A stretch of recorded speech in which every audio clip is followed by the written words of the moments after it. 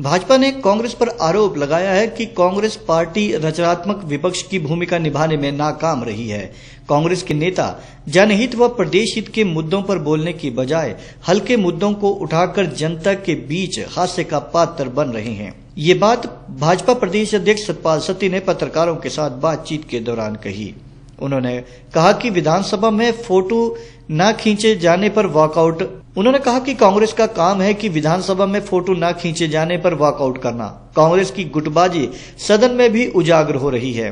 उन्होंने कहा कि कांग्रेस की गुटबाजी जग ज़ाहिर है, मगर सदन में भी ये गुटबाजी उजागर हो रही है। उन्होंने कहा कि कांग्रेस वर्चस्व की लड़ाई लड़ रहे आपसी नेताओं पर घटिया स्तर की राजनीति कर रही है, जिसकी भाजपा प्रदेश कार्य समिति निंदा करती है।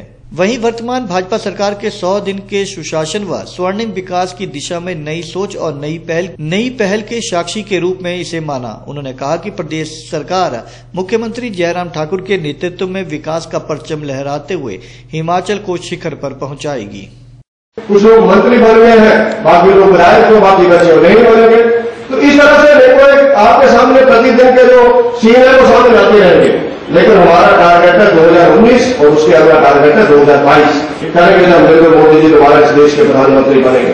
क्योंकि पाँच साल में, दो महीने में, छह महीने में मित्रों, कोई भी गवर्नमेंट आकाश से ताले तोड़ के नहीं ला सकती। ग्राम पंचायत में बीडीसी जिला परिषद रहा होगा, कोई एमएलए है। हम लोग बहुत सी बातें चाहते हुए नहीं कर पाते।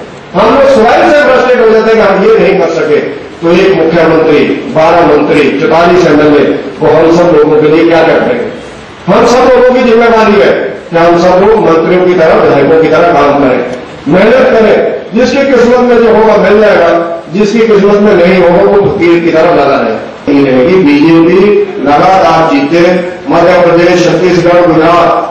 इस तरह का हम लोग रिकॉर्ड हिमाचल में बनाए उसके बाद जब 10-15 साल अपनी गवर्नमेंट चले, तब जरा पीछे मुड़ करके देखना कि बीजेपी के समय पर कितनी डेवलपमेंट होगी हम दावे के साथ कह सकते हैं, जब तक हिमाचल में गवर्नमेंट आई, चाहे शांत जी की आई, चाहे धोमो जी की आई, हमने कांग्रेस के लोगों से सौ गुना नहीं, हज़ार गुना ज़्यादा डेवलपमेंट के काम किए।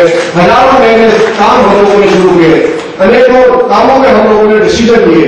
कोई कल्पना कर सकता टोल टैक्स बैरियर हटाना हिमाचल प्रदेश से, कोई कल्पना कर सकता था। हिमाचल प्रदेश में सत्तर साल से ऊपर सब लोगों को पेंशन देना। कोई कल्पना कर सकता था एक लाख पच्चीस हज़ार लोगों को लाभ भेजना, दो सौ करोड़ रुपए का उसमें सरकार के ऊपर और जो जिम्मेवारी आएगी। ऐसे बहुत से निर्णय जयराम जी ने लिए हैं और आने वाले समय में हमें और नेताओं का मार्गदर्शन भी मिलेगा।